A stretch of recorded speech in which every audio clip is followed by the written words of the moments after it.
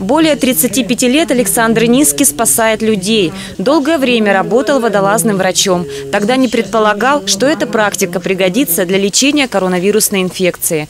Один из способов восстановить поражение легких – лечение в барокамерах. Человек лежит вот в барокамере, давление от 1 до 3 АТИ, до 30 метров под водой. Он там может двигаться, э, может разговаривать. Все, что он говорит, мы слышим. То, что мы говорим, они слышат. Кислород – энергия. Она нормализует э, энергетический баланс клетки. В специальной капсуле пациент, словно под водой. Внутри устанавливается режим избыточного давления, при котором кислород способствует заживлению любых воспалительных процессов. Мы брали больных с поражением легких э, свыше 70%. И они очень хорошо поддаются этому лечению.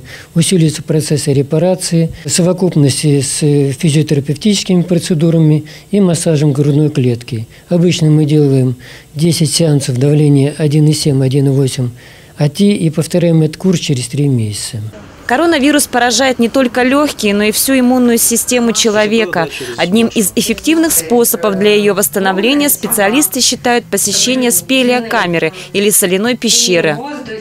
Очень хорошо э, подходит э, больным с хроническими заболеваниями, в том числе после коронавирусной инфекции, после пневмонии. Больные у нас здесь получают процедуры. Процедуры по времени до 40 минут. Организм за эти минуты насыщается этими отрицательными легкими аэроионами, и за курс лечения у них проходит недостаточность дыхательная, которая остается после перенесенной инфекции. Камни для стен, потолка и пола перевезены из соляных карстовых пещер. При температуре 19 градусов они излучают аэроионы, обладающие заживляющим эффектом.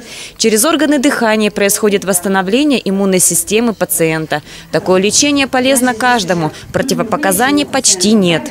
Человек сидит, э, дышит, и больше ничего с него не требуется.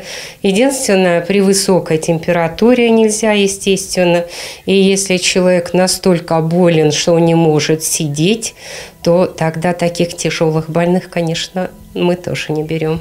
Победить болезнь – это лишь первый этап борьбы со страшным недугом. Врачи советуют набраться терпения, ведь для полной реабилитации придется пройти немало восстановительных процедур. Полина Бахова, Станислав Трифонов, телекомпания «Одинцова».